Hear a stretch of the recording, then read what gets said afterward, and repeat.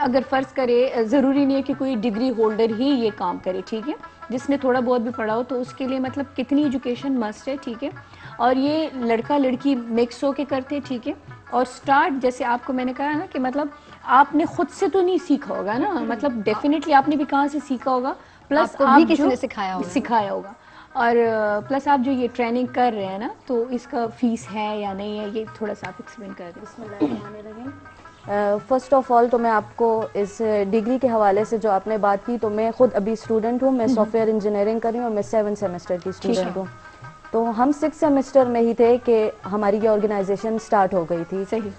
तो degree doesn't matter okay ठीक है अच्छा, ठीक है एज लॉन्ग एज आपके पास स्किल है तो आप हम्म. सब कुछ कर सकते हैं आप जो बेसिकली एक बात है वुमेन को एम्पावर करने की हम्म. वो चीज हमारे पास स्टार्ट ही स्किल से होती है अगर एक वुमेन के पास स्किल है तो वो खुद को एम्पावर कर सकते और वो कुछ भी कर सकते एग्जैक्टली exactly. मैंने प्री मेडिकल किया था उसके बाद मैंने अपनी फील्ड स्विच कर दी थी आईटी की तरफ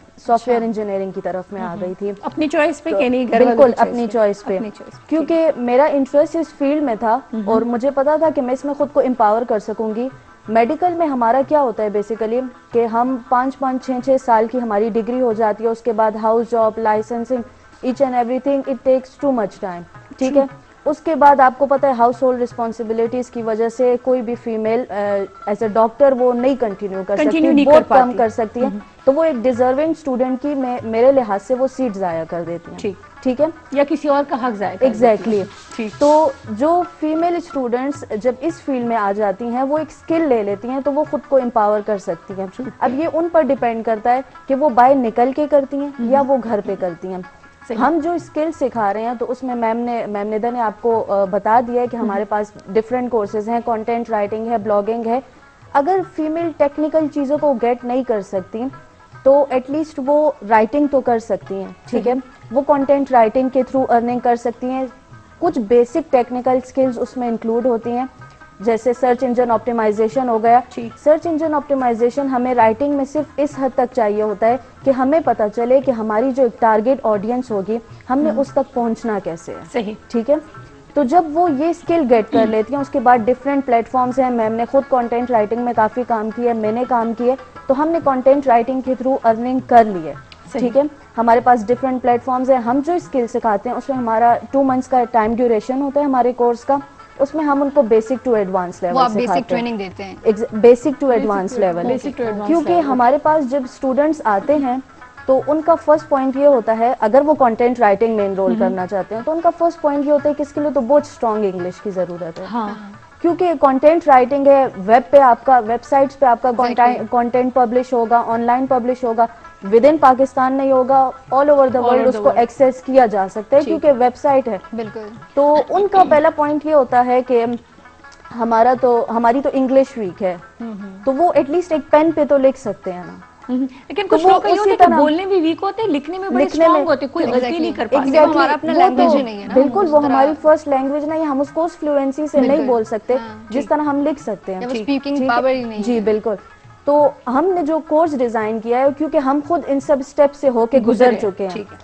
तो हमने जो कोर्स डिज़ाइन किया है वो हमने इसी तरह डिज़ाइन किया है कि हम पहले बेसिक ग्रामर रखें ठीक है उनको जो है तो नो हाउ दें उस तरह वाली नहीं कि जो हम बिल्कुल स्कूल लेवल पे करते थे एग्जैक्टली हम जो है तो बेसिक ग्रामर उनको सिखाते हैं इस तरह नहीं कि उनको डेफिनेशन पढ़ाई और सेंटेंसेस हम्म। की एग्जांपल्स दे दी हम उनसे प्रैक्टिकल वर्क करवाते हैं हमारे जितने भी कोर्सेज हैं उनका बेस्ट पॉइंट ये हम अगर इस इंडस्ट्री में आके इस मार्केट में कॉम्पिटिशन कर रहे हैं तो हमारी सबसे यूनिक चीज़ यह है कि हम क्वालिटी पे कॉम्पिटिशन ठीक है अच्छा जी अब ये बताएं कि फ़र्ज़ करो अगर कोई लड़का या लड़की इंटरेस्टेड है कि वो आपको ज्वाइन करे तो आप उसको ट्रेनिंग का मतलब थोड़ा बहुत तो अंदाजतन बता देंगे ना कि मतलब फीस कितनी होती है आपकी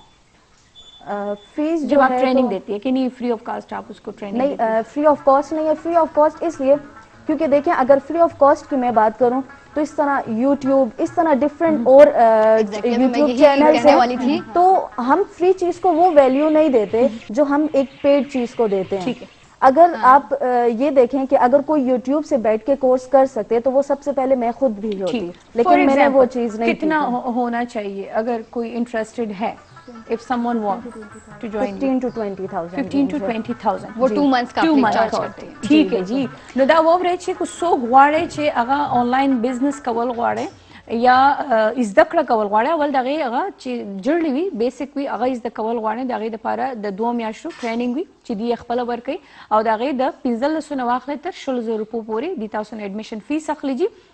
دمه ده پس د دې د مې برازو او دینه به دا پښتنه کو چې دی په خپل د مقام ته څنګه را رسیدل د چا سپورټ وو د چا مرسته وا او چې دا هم زنانه دي مرمنې دي نو ستونزې هر یو فیلډ کې په هر ځای کې چې د مخه ترازی چونکه ضروري نه اوس د دې کار چې دی نو هغه د کور نه دفترونو ته راوتل نو ډیفینیټلی خو بد په هر ځای کې وي نه اول به 15 یا 20 هزار روپیا لګوي او بیا به ډالرز یا پاونډز کې پاونډز به کوي جی دا څه دا څه غټ وړه خبره نه چې بس تاسو وکیل ایگزیکټلی نو اوس موږ واخلو یو وړه غونته کې دما او تاسو چې دا زموږ د خلاګانی او د زموږ د خسته رنگینه ګوره په دې سیټ باندې جی دا صرف او صرف زموږ د سیټ ډیزاینرو په دولت باندې چې مزر صاحب چې دغه د اسلام آباد نه دی زموږ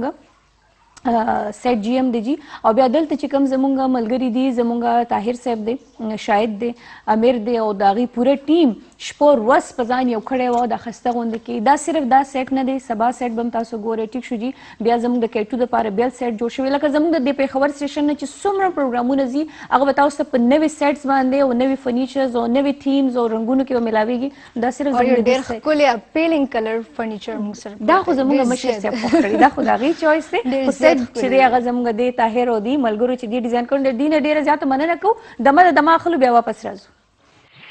کړه مې شي جی په دې باندې خپ کې وګورې وي وجود زنګ سه هي تصویر کائنات مې رنګ کنه نو کائنات به څنګه بدرنګ ښکار کیږي ما ځان سم مینه نن ډیر زیات جلدی کې هم تیار شي یس دا ټول تصویر زما ټیکنیکل سټاف دی زما ادا دوری زه پرې خو دا بس چې دی ما میک اپ داسې پرې خو دا چې مونږ راغلو جی چونکه نن زمونږ په خپل خسته خپل نوې سیټ باندې ډومبنه سحر دی جی اسه خو زموږ ټول پروګرامونه الحمدلله د پرونه شروع شو چې تاسو ډیر زیات خوښ کړل او تاسو ډیر ښه فیډبیک را روان دي سپیشلی د قاضي صاحب د شو ډیر تعریف را روان دي تو ابي مې خپل مارننګ شو ایسه کرونګي چې مې خپل خبر شو کو بیټ کرونګي ها او موږ سره ملمانه ناست دي زموږ دوه ښایسته مېرمنې ناستې دي ډیفینیټلی دوی د خپل فیلډ باره کې ښه ډېرې خبرې وکړلې خو اوس به مونږ راشو چې کوم زمونږ مین موضوعات دي همنه په هغې باندې به راشو جي نو لومړنۍ مونږ دا نه ده نه تپوس وکړو نه ده چونکې تاسو هم یو فیمیل یې ټیک شو او همیشه خوشقسمت هغه زنانه چې فیملی یې سپورټ کی ایجوکیشن کې هم یا په جاب کې هم تاسو څنګه د هدا پورې راغلی څنګه ایجوکیشن حاصل کړو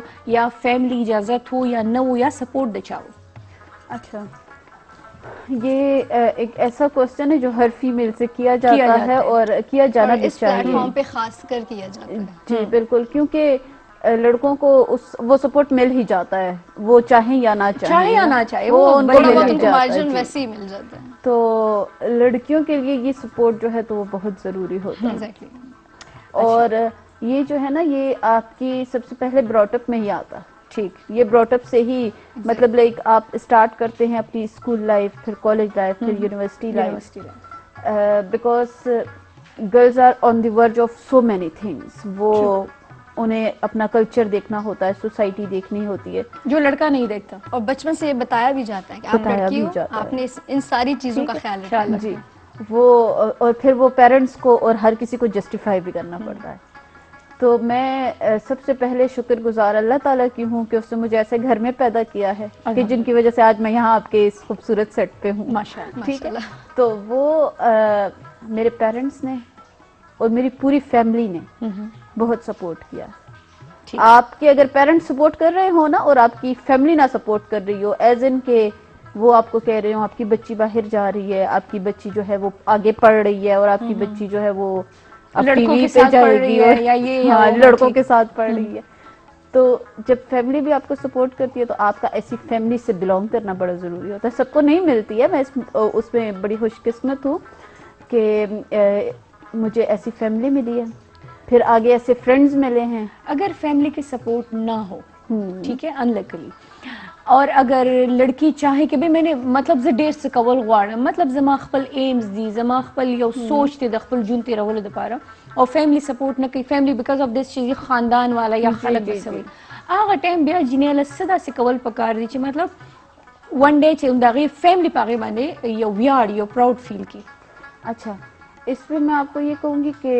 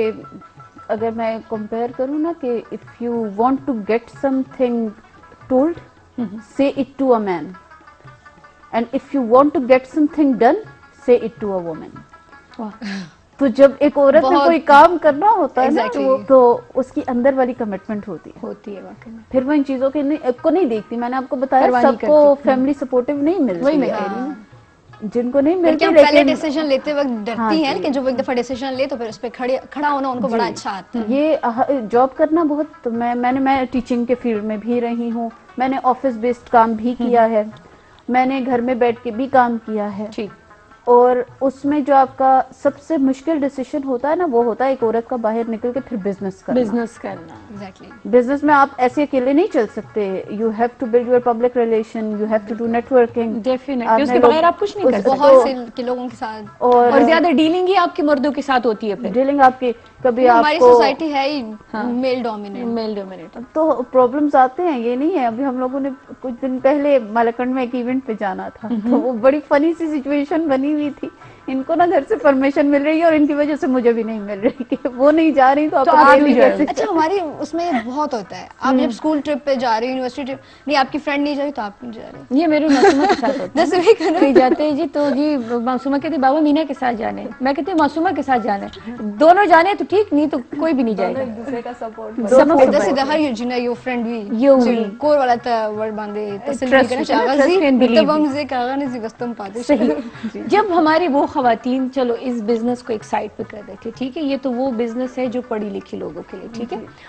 هغه ښځې ښځې چې کوم په کلو کې ناشتې دي ٹھیک ہے جن کې لې سیکھنے کا ذریعہ صرف ایک ټیلی ویژن ہے ٹھیک ہے اسی سے وہ سیکھ سکتے اسی سے وہ گروم ہو سکتے اسی سے وہ سب کچھ کر سکتے هغه زنانه چې سکلز لري په لاس کې څه هنر لري ټیک شو او هغه له څه پلیټ فارم نه ملاويږي نو هغه له موږ څه داسې کوي شو چې هغه هم موږ دې دې دنیا ته راولو هغه ته هم موږ دې دنیا د رڼاګانې وخایو موږ چې دا ستا سکلز ځای کېدل نه دي پکار क्या हमारे पास ये जो अंडर प्रिविलेज एरियाज हैं मालाकंड हो गया हम्म। स्वाद दीर डिफरेंट एरियाज है बहुत सारे एरियाज हैं हमारे पास ऐसे इतना एक्सपोजर नहीं बिल्कुल और अगर हम इस चीज़ को देखें तो उन लोगों के पास टैलेंट यहाँ से कई बहुत ज़्यादा है यहाँ के लोगों से कई ज़्यादा है क्योंकि हम्म। उनका कनेक्शन नेचर के साथ इतना ज़्यादा है हम्म। और उनके पास टैलेंट भी बहुत ज़्यादा होता है तो हम लोगों की जो ऑर्गेनाइजेशन है मैं आपको अपने ऑर्गेनाइजेशन के परस्पेक्टिव से बताऊंगी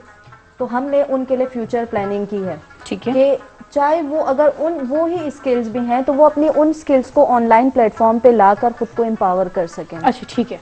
हम लोगों का अभी रिसेंटली जो है तो नौशहरा के साथ इस तरह से चल रहा है कि हम्म। हमारी अभी फ्रेंचाइज हम ओपन करने का सोच रहे हैं हम्म। कि हम इधर बैठे क्योंकि हम लोगों का जो एक गोल था वो यही था कि हम फिजिकल ट्रेनिंग्स प्रोवाइड करें फिजिकल हम्म, ट्रेनिंग से बंदा रियल टाइम में जितना सीख सकते उस तरह ऑनलाइन या उस तरह बैठकर नहीं, नहीं सीख सकता तो इन एरियाज के लिए भी हमारा यही फ्यूचर प्लान है कि हम उधर अपनी फ्रेंचाइजेज ओपन करें उधर हम्म। हम उनको रियल टाइम लर्निंग करवाएं कि वो जो उनकी स्किल्स हैं वो उनको ऑनलाइन लाकर लोगों को बता सकें इससे वो खुद भी मोटिवेट होंगी और वहाँ पे भी जो लड़कियां हैं उनका भी ख्वाहिश होगी कि वो भी कुछ करें क्योंकि बहुत ख्वाहिश होती है उनकी ख्वाहिशात होती हैं लेकिन उनके पास कोई रिसोर्सेज नहीं होते हाँ। फिर यहाँ की फैमिलीज की और उधर की फैमिलीज को हम कंपेयर करें हम थोड़ा बहुत जो है तो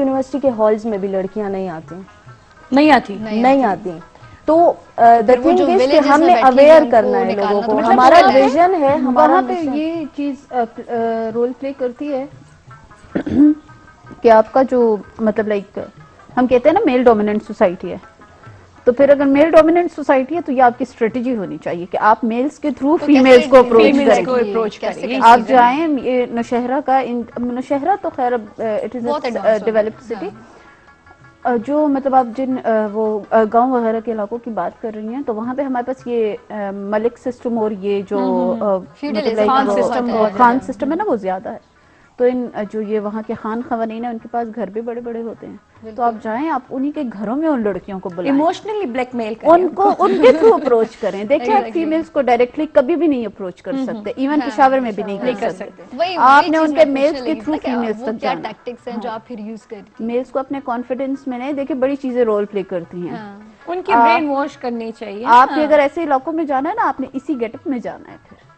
हाँ, अपने इसी गेटअप में जाना है उनको मतलब लाइक उनको एक सिक्योरिटी प्रोवाइड करनी है कि हम अगर किसी फीमेल के साथ शहर से आई हुई किसी लड़की के साथ अपनी गांव की लड़की को बिठा रहे हैं तो it will ultimately pay off पड़ेगा हमारी हाँ जी वो पे ऑफ करेंगे मतलब इससे उनको तसल्ली होगी कि आया ये खुद इस तरह है तो डेफिनेटली हमारी खातन को भी इसी तरह रखेंगे आप और दूसरा आप पे भी डिपेंड करता है आप वहाँ जाए आप जिस मकसद के लिए गए हैं उस मकसद को ना फोत होने दें वहाँ पे उनको वो ट्रेनिंग करवाएं और जितना आपसे पॉसिबल हो सके आप उनको ग्रूम करके और ये स्किल फिर उन पे है कि वो इस स्किल को कैसे अपने इस्तेमाल में ले जहाँ जहाँ आप लोग जा चुके हैं ठीक है आप लोग सर्वे कर चुके हैं वहाँ पे खातन को स्पेशली लड़कियों को किस किस्म के मुश्किल दरपेश थे या लड़कियों की ख्वाहिशात क्या होती थी कि मतलब वो क्या करना चाहते हैं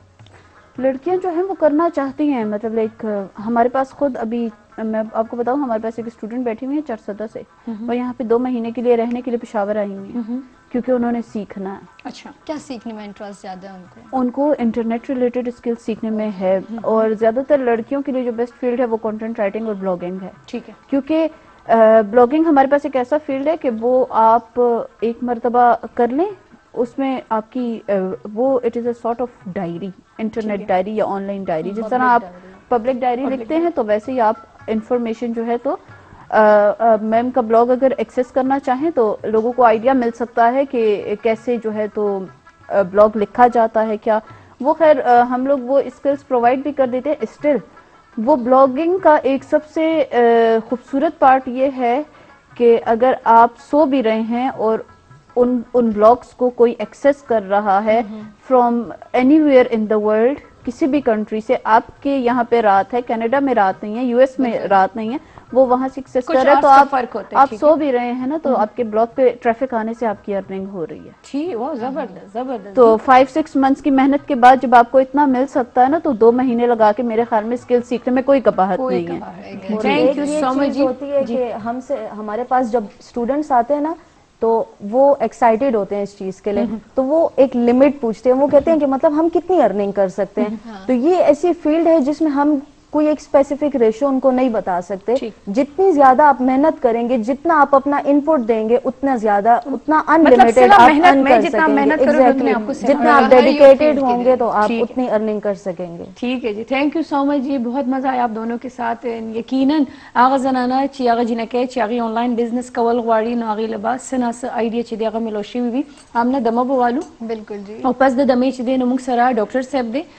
چې دا سیګمنټ وایز شو زمونږ دا پروګرام کنه لکه سٹارټ هیلث بیوټي ټیپس یعنی سمارټ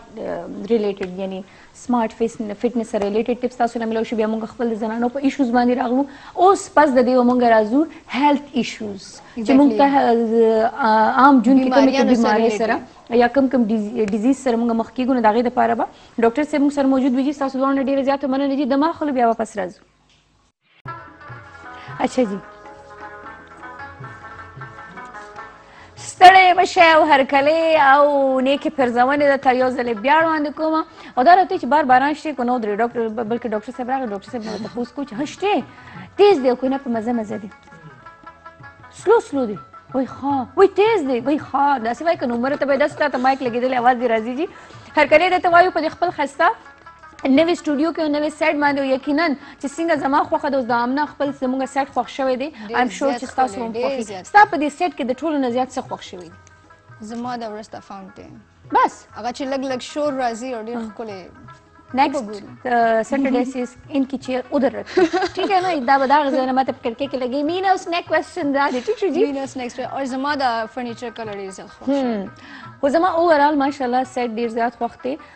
او لکه اکثر چې مونږ چرته نوې کور ته لاړ شو کنه نو دا غي کله په سټیرز کې کینو تصویرانو باسو کله وینډوز کې کینو تصویرانو باسو کله غا کارپوچ کې چې یو یو زم مونږ نه پاتې کیږي کنه نو دا هم هم دا مثال لري چې لکه زمونږ نوې کور زمونږ هغه د خوخه زیاده چې دلته زمونږ دوا غنټه د تاسو سره معرفي کیږي انټروډکشن کیږي جی نو په دې کې پکاري چې زمونږ غا چويس هم پکې او زمونږ چويس پکې دی وګوره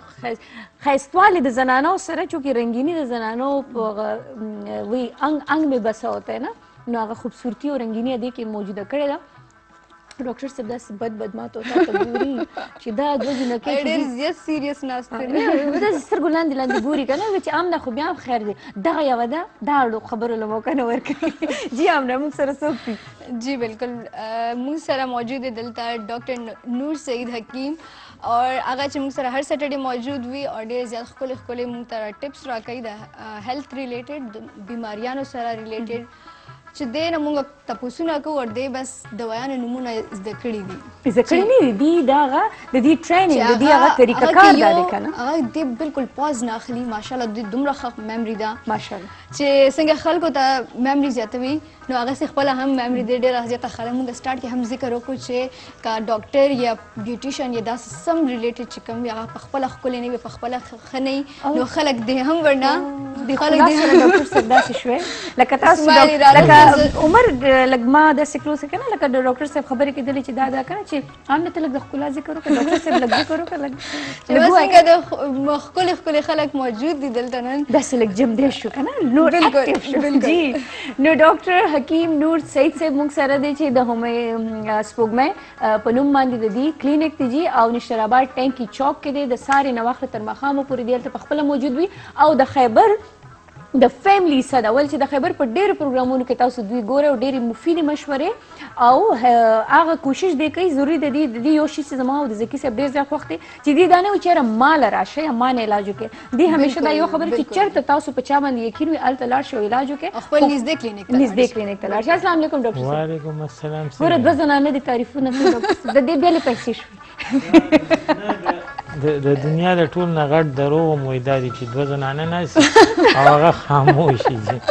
نو ما ته غوږی خو دې مې دې سو چې دې سو کړه پرې چې وایي پرې چې وایي څنګه ډاکټر صاحب خپل سمه تیر شو الله فاک فضل دی د باران حوالې سره تاسو ویل بالکل نو باران خو په مردان کې ډیر زیات تیز او دلته کې چې کوم دی بیگانه داسې لګ لګ داسې تیزه د چونګي نه د چونګي په شکل کې را روان دي او بیا سار لک خشوي د لګ لګ خودمره دي چې سړی لمدای نه سړی لمدای نه وي باران د زمکه آبادی ده کنه خدای دی الله کی چې دا د رحمت او د زحمت نشي ان پرونه خبر نه شو کې معلوم شو کې موږ دغه دعا کوله چې دعا د دې لپاره کوئ ټول ټول کتونکو ته دا سوال دی دعا کوئ د الله نه مونږ انسانان ګناهګار یو خو دا مونږ سره چې دا نور زناور دي یا مونږ سره چې دا نور ماشومان دي نو ای باندې خو هیڅ قسمه سلا دغه نشته دی کنه نو دا غي د پاره د دې بیمارو د ختمېدو د پاره د ډینګي د پاره ختمېدو د پاره د ټایفاید ملیریا د ختمیدو د پاره دی ماشی مچان د کمیدو د پاره چی دی دسی نوری ډیری بیماری دی چی د هغه د پاره د بارانونه که لګوشی نو خدی موسم داسې دی اوځي ها ډاکټر سه ما سٹارټ کې دا خبره کړې ولا چې ګرمیانی شروع کیږي نو غزان سره خپل بیماری وروړي چې شو چې یخنیانی شروع کیږي نو ځان سره خپل بیماری وروړي دغه شان چې باران نه کیږي هم بیماری راځي ټیک شو چې باران وشي نو بیا هم سنا سره دغه داسې زموږ په وجود باندې پریوزي تبدیلیانو سره نو کوم قسم هغه بیماری دي چې دی وخت کې موږ احتیاط پکاري چې هغه موږ ته ونشي خاص کر د الرجی ډیره زیاته شي هغه الرجی خو ځان له غټه دنیا د علاج کی خو ډیر ګران مشکل بالکل دا کوم ویکسینیشن چې دنیا کې خو څه پورې چې موږ کوم اوریدلی دي کتلیم دی ناغه صرف دوه سنټری دي په دنیا کې چې یو د نېشنل انسټیټیوټ اف الرجی سنټر د اسلام آباد پیزاباد اړې سره نږدې چک شهزاد روډ باندې او هغه ډېر غټ هسپتال دی سیټ اپ دی هغوی ویکسینیشن کوي هغه کال کال دوه دوه کاله درې کاله شپږ میاشتې هغه ویکسینیشن کوي چې د هغې سره دا جرمز کنټرول شي شپږ قسمه الرجي هغه دلته نه ټیسټ کیږي او دغه شانتې یو بل ټیسټ د دې ځینې لیږل کیږي لندن ته نو دا الرجي څه معمولي مسله نه ده خلک معمولي ټوخیږي را ټوخیږي نو وایي زما الرجي ده که نه الان کې د شپږ ډاکټرانو میډیکل بورډ چې اونلي کتابانې تاسو ته الرجی نشي ها اچھا تصدیقونه ضروری دي بالکل تاسو به په ځان خپل مخ خوځوي چې ماته الرجی ده دا خلکو دا نوم زده کړي خپل غون ته کې نه خپل نه خپل غون ته کې نوم دی بس جفن الک فرنجي چوي لګي وي زه یا دا سټ ریډ سپورټس راشي ماته الرجی دا پته وته ولګي چې دا کانسر نه زیاته خطرناک بیماری ده دی علاج نه بیا باندې وای دا ویکسینیشن باندې کنټرول کوي دی علاج نه علاج کوم دی هغه کیږي ډېر په مشکله سره ډېر په مهنت سره کنه نو هغه چې کوم دی که دا چاته پته ولګي بیا به ځان ته نه وي زما پروګرام زمونږ دا دی د دې لپاره دی کې داسې نشي ویلی چې تاسو به کلینیک ته راځئ تاسو صرف یو ځل د اډرس ځکه ویلی شي یا اخره کې ځکه ویلی شي چې ډېر خلک بیا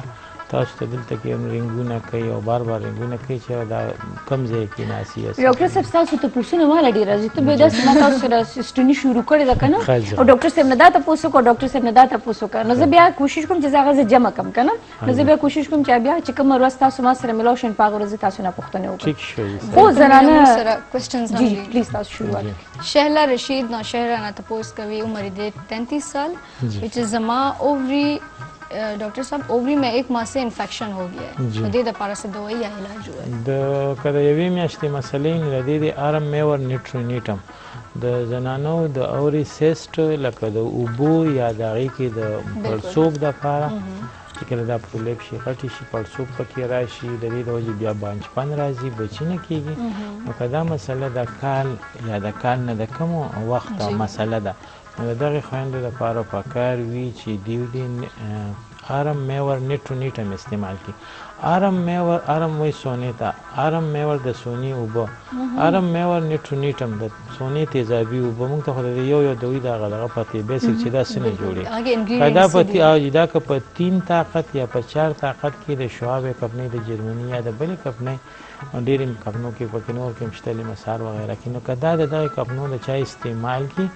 دوه یا درې ګولۍ درې ټیمه په ماړه ماړه باندې نو د دې سره دغه انفیکشن یا اوریسس ټیک شي که پرس کیا دا مسله د کال د درو نه زړه ده نو دې لپاره ګور اکثر خلک بیا اپریشنونه کوي او اپریشن بیا ناکامیاب شي نو بیا اپریشن کوي نو دای لپاره بیا ایله پرمننت علاج پکاري بیا د یو دوی سبینټ کیږي اچھا ٹھیک ٹھیک صحیح صحیح او په دې باندې بهتیاتی نه د پکار کنه مطلب په ټیم باندې په یو شیس کې بهتیاتی نه د پکار ځکه چې دغه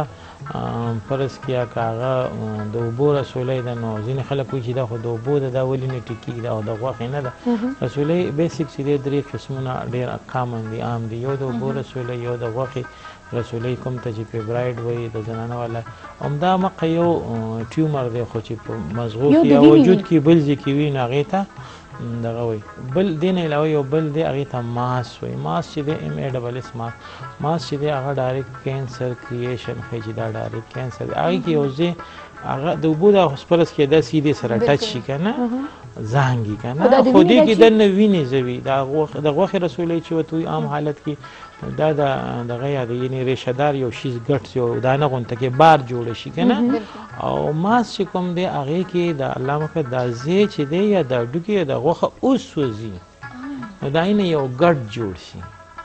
نو بیا که غړي ور کوډي مینو ماز مریضان خو نه پوهیږي نو دا څنګه نه ختميږي دا ولې نه ختميږي دا به کله ختميږي کنه هغه دا مطلب دی کړی دی مونږ اپریشن کو نو خو بشي دا غي اپریشن خو دار چی پرس کیا بچرانی سره دای تعلق وینه بچرانی به کټ کې ختم صحیح ځکه چې هغه هغه سوځېدلې ده او د هغې نه یو یو ګډ جوړ شوی دی اچھا نو دې پروګرام حواله سره به کم از کم خلکو دا زده کړي چې د غوخي چې نو هغه دومره نقصان دی نه وی کنه فیبرایټ چې وته وي نه نه نه نقصان ټول نه اسانه چې د علاج یې اسانه نو د وبو رسولې دا ورپسې بیا د غوخي رسولې دا ورپسې بیا ماست ماست چې کوم دی هغه یعنی داسې وګڼه چې یو غوښه یا ډوکې چې کله وسوځي څښا شي او هغې نه یو ګډ جوړ شي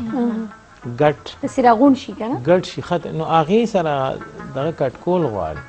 چار سم مسله صحیح نو یقینا چې زموږ د پروګرام نه به د خلکو دغه فائدې غستی نور علاج د هر سوي الله داسې مرز نه پیدا کړی چې دا علاج نه بل خلک وي نه دا پریشن سره نو دا په خوا چې پریشنونه نه نو درې به د څه علاج کړي پریشنونه خو دې اوس راغله او حکمت کله نه راغلی دی حکمت د بابا آدم علی السلام د وخت نه شروع دی نو یقینا چې د سلسله لګوګدوي ټیک شو خو ستاله چې نقصان نه درکې تا ټیک کوي بل اکثر په خاص کر د زنانو کې داسې شي وینم چې د مازیګر شپې دوی او سینو سار په وخت باندې رنگونه کوي کنه ما ته هم پته نه ما ته مخکې نه موبایل داسې بند ساتلی چې کله زه خو ریډي شم ریلیکس شي پاس وا وا وا وګوره دا فارمولې مو ته په وخت باندې بند کما په ټایم چې ودا کېږم نو هغه وخت کې بند کم چې لکه سم مسله نه کومه کې چې ودا کېږم بس بند نو هغه چې کوم دی هغه زه خو دوی سره ټیک نه یم هغه در په ما بیا راځي نو کوم در په ما ته څوک یې هغه چې هغه درغلم نو کله راغلی پرون هماښام وشیا زه خو پورې وایم ټیک نه یم په کار چې ته خو اوس ټیک شوی نو هغه دې لپاره دي ته وایم چې دي لږ زده کړي که نه زه هم دي لږ زده کړي چې کومه مسلې تاسو ته د لسو کارونه کله زه دي د تنګېدو د پاره داسې هم وایم چې چا مسلې له شلو کالو نه زه ورته هم دي د پاره په شل کاله علاج کوم مسله ډېره زاړه وي او ډېر رزلټ یو د شل کاله د بیماری زنګول را زنګول چې دا شیز دې ته جوړ کو کنه بیا ورته داسې لږ راکم شم بیا ورته هم زه به خیر دی کال شپږ میاشتې مګر لږ زر به ونی بیا وته شپږ میاشتې شپږ میاشتې صحیح هغه ته بیا غاړه کیږي کنه صحیح صحیح صحیح جی امنا میرا سوال دی کو نه بریک دی بریک واخلو بریک د پس پر ازو نور کوېسچنز هم تاسو کو ډیر زیات کوېسچنز جمع دي او ټایم سره لکم دی یا دما اخلو ستړي مشي یو ځل بیا د دمې نه پس او یقینا چې زمونږ د خیبر ټول لیدونکي او ټول مینوال به ناست یو زمونږ پروګرام له به خوند اخلي جي ولې چې ښایسته نوي نوي پروګرامونه د خیبر په شیشه باندې رنګینه خو دا شیشه خو اوس نوره هم ډېره زیاته رنګینه شوه ډېره زیاته اډوانس شوه زمونږ د خیبر شیشه او دا هر څه صرف او صرف زمونږ د ویورز لپاره د هلې ځلې کېږي موږ سره ناست دی ډاکټر حکیم نور سید صاحب موږ سره ناست دی چې د سپوږمۍ په نوم باندې د دوی کلینیک دی او ټینکی چوک نشتر آباد د دې اډرس دی جی او د سحر نه واخله تر ماښامه پورې دلته په خپل موجود دی ډاکټر صاحب دین روان دي چې موږ راشو یو سوال دی ما سره راهیله ده جی او راهیله وی ډاکټر صاحب چې ډاکټر صاحب السلام علیکم تاسو پروګرام ډیر زیات خوري ډاکټر صاحب زما موار چې دی دا په میاش کې دوه ځله راځي او زه دې نه ډیر زیات تنګ يم د دې علاج راته وکړئ دا مسله د خويندو لیټ وي یا یا د ټیم نه مخکې راځي نو د دې دوی علاج وي خو که دا مسله د کال نه د کال نه د بیماری دا شانتی وي نو د دې لپاره بیا اشوکا کیو دوی ده اشوکا کیو د جرمني دوی ده شل شل ساس کې درې ټیمه په مړه باندې پکار وي نو هغې سره دا مسله عمر د پاره خشي په دوه میاشتې مسلسل استعمال سره دوه نه والا درې میاشتې پورې استعمال سره دا مسله به بلکل ټیک شي خو که دا مسله فرض کیه زړه وي نو دا رسولۍ پیدا کیدل موږ چې وختي خبرې کولې او داسې ډیرې مسلې پیدا کیدل لکه بانجپن دا د دې سره تړلې خبرې دي جی هاجي. موږ سره دی محمد اکبر خان ډومیل ون نه تپوس کوي چې زما 20 ساله زوی دی او هغه ته ډینګي شوی دی نو زر څه داسې علاج وښی چې زر صحتمند شي. د ډنګي نه ویره خو نه ده پکار دا ځینې خلک ډیر زیات یریږي دې کې صرف د وینې پلیټلیټ کاونټ ډیر کمیږي سپینه وینه ډیره کمیږي نو او دا پلیټلیټ هم کمیږي نو دې سره خلک یریږي بیا تبه په بار بار راځي کنه دې نه ویره نه ده پکار دې لپاره د تبه عام ګولې هم خوړې شو دا غینه علاوه یې نه پینډال یادو او دا اغینه علاوه چې کوم دین د په هومپیتیک کې دې لپاره ګولې چې د تبه کومې نو هغه دې کلکیریا پاس په چی ایکس طاقت کی ګولۍ دی څلور څلور ګولۍ درې ټیمه د جرمنی استعمالۍ په نهره یا د ایمرجنسی په حالت کی هر درې ګینټی بعد او دغه شانتی یو بله دوی ده چی هغه خاص د ډینګی د پاره ده هغه د کینترس تیس طاقت کی کینترس تیس طاقت او کینترس تیس طاقت کی د جرمنی دوی ده که څوک دا لس ساس کی په ګیلاس اوبو کی درې ټيمه په نهره استعمالي عام خلک او که چاته ایمرجنسي وي تکلیف ورته ډېر وي نو هر څلور ګنټې بعد دا استعمالول شي درې ګنټې بعد بل استعمالول شي هر درې ګنټې بعد څلور ګنټې د شپې وسملي بس د شي بس خبره ختمه عام غوخي او خوراکونه د سخت نه کوي درې قسمه فروټونه د جوس وباسي هغه د استعمالي اسید جوس استعمالي یو فروټ والم فروټ زیات خوري او د د طاقت واپس بحال کیدو لپاره ولا پکار دي چې څلور دالونه مکس کړي او داسې پوخ کړي لکه د ډلیم په شان ته چې بسبل پته یې نه لګي چې دا کوم دال دی نو ټول طاقتونه د فروټ او د هغه نه راځي دا څلور مختلف دالونو مطلب دا و د دې فروټ چې د دې هر یو فروټ هغه ویټامن او منرلز د دې ته ملاوي ټیک شو جی کلثوم د پندین او کلثوم وی چې السلام علیکم مینا تاسو ته ډاکټر صاحب ته ټولو ته سلامونه کلثوم وی چې ډاکټر صاحب زما و کالو شو د واده سلور کالو لور مې دا زما نور ماشومان نه کیږي جی د دې لپاره چونکی د سلور کالو نه پس د دې بچی نشته نو دې ته موږ سیکنډري انفرټیلیټي وایو يو فريمري هغه چي له اول سر نه يو ماشوم هم نه سيکنډري هغه چي لکه يو ځل څه وي بیا نه پس بیا نه نو دی خور له پکاري چې چرته نږدې کلینیک ته ورشي هوموپاتیک کلینیک ته ورشي خو آی کې یو احتیاط وکړي چې سنگل ریمیډي کلینیک ته ورشي کني نو ګاینکالوجست لدی ورشي خزي ډاکټر سپیشلیست چې کوم ماشومان لپاره چرته حکمت والا لدی ورشي او هغی نه خپل پرمننټ علاج وکی نو په هوموپاتی کی خو دری دری میاشتی علاج دی دری میاشتی که دی علاج وکړو نو د عمر د پاره به دی پی ښه شي او د دی چانس ډیر زیات دی د ټیکیدو کوم خلکو چې یو ځل اولاد شي نو دای بیا چانس ډیر زیات دی چې زر به واپس دوباره جی رشید ګل بنگش کوهاټ نه تپوس کوي چې پروسټیټ بغیر اپریشن علاج ممکن دی عمر دی پچپن سال پچپن سال بالکل دا د سړو بیماری ده او د دې علاج چې دی بغیر اپریشن نه موجود دی که دا مسله د چا د کال نه کمه مسله نو بیا د دې دوی چې دا هغه د ډایمیانا کیو دیش احساس کی د جرمنی دوی دا درې ټیمه په ماړه نیم ګلاس صبح کې استعمالي ډایمیانا کیو خو که دا مسله د کال نه زړۍ نو اکثر که تاسو خیال کړي داسې مسلو د پاره افریشنونه وشي هغه هم ناکامیابه دي بیا بیا که نه نو د هغې لپاره ښه دا ده چې دوی په وخت باندې خپل علاج کوي جی هم ناراضه جی عثمان افریدی جمرود نه تاسو کوي چې زما خاول خو تاسو ټول ټیم ته سلام وایم وعلیکم السلام ای زما معدې کې جلن، ګیس او بدهضمي ډېره زیاته کېږي نو دې دپاره ماته څه علاج وښیه. چې کله د معدې زخم نه شپږ میاشتونه دې دا مسله ډېره ده. کله زخم نه وي په ټیسټ کې او اسې عام بدهضمي چاته وي نو د هغې دپاره په هوموپاتیک کې دوي چې ده هغه نکس ماسکاټا ده نکس ماسکاټا کیو د جرمني دوي ده که شل څاڅکي یا دېرش څاڅکي درې ټیمه په مړه باندې د روټۍ نه پنځه منټه بعد په دوه ګوټه اوبو کې دا دوایی څکي نو ددې سره به دوی ته هیڅ قسمه ګیس، بدهضمي،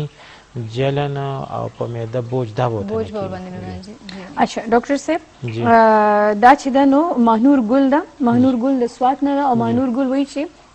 دی په هغه ورځ را لېږلی لکه ما ته ذکي صاحب ته تاسو سلامونه را لېږلي دي جي او آمنه وایي دا سوري مانور وایي چې ډاکټر صاحب څه موده وړاندې ما د لپس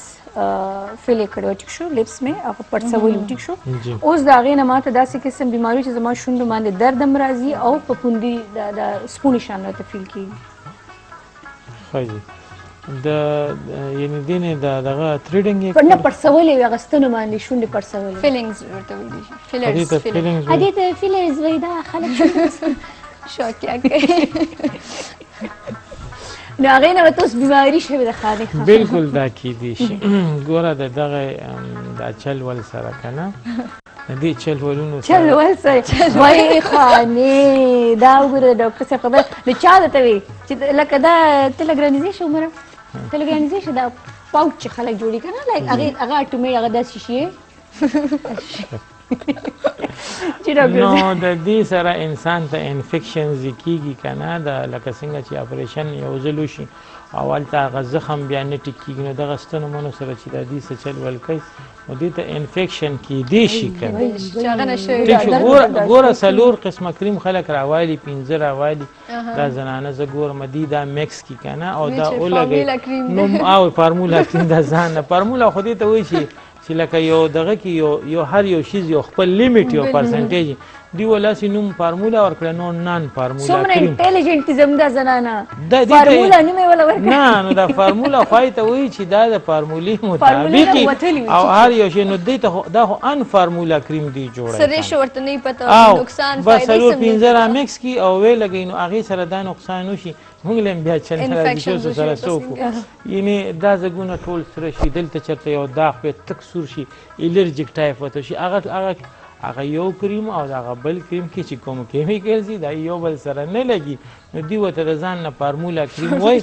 نو وی لګي نو هغه بیا نقصان نو ځکه زه مې دا چل ول نه خدا سي زنانه اکثر د مخونه تکسری کنه هغه د بل شان تسری چې دا باندې څه چې دا مت الرجی ده کنه دا الرجی د الرجي نه خبر شي بیا به د الرجي نوم په خوله باندې وانه دي ښه جي دا د شونو سره څوک دی لب سره څوک خزه دا انفیکشن دی دا اوس دا سکارو کی چې چرته نږدې کلینیک ته دی ورشي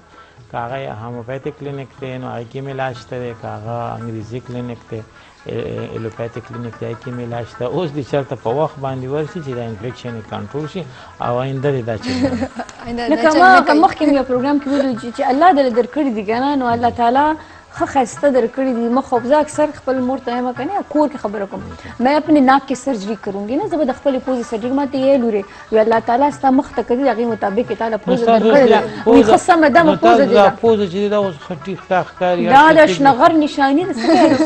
لکه خټي ټاک ده نه چې ته اوس دې سره چیړ کې او بیا سبا ته انفیکشن وشي نو ته به هم بیا وایې چې زه اوس نو سبا دکه شی سره راته کم مور ځم. هم وایي چې مې ګور لوري وي د الله په کارونو کې ګوتې مه وهه بس سمه دا کوې آه، بالکل دغه شانتې ده دا یو د انګریزي متل هم دی چې د الله کارونو کې به ډسټربنس وینس نه کې کوي. نه پیدا کې دا نقصان دی انګریزان داسې وایي ټیک ده نو دې شیزونو کې بل د زنانو د باره کې به هم پروګرام د هغې دی دي دا زيړ ويښته په مخ چي دا قدرتي د هر چا وي د سړو وي د ښځو وي او جدا وي نو دا کله لږ داسې معمولي زیات ښکاري کله کم شي د دې علاج هم ډېر اسان دی نو هغه دی چې دی دا اوباسي ورګه چې دا یو فنکشن لري لوباسي ورګه ترډینګ دا اوکی اوکی بس هغه سره غلانجه سیوا شي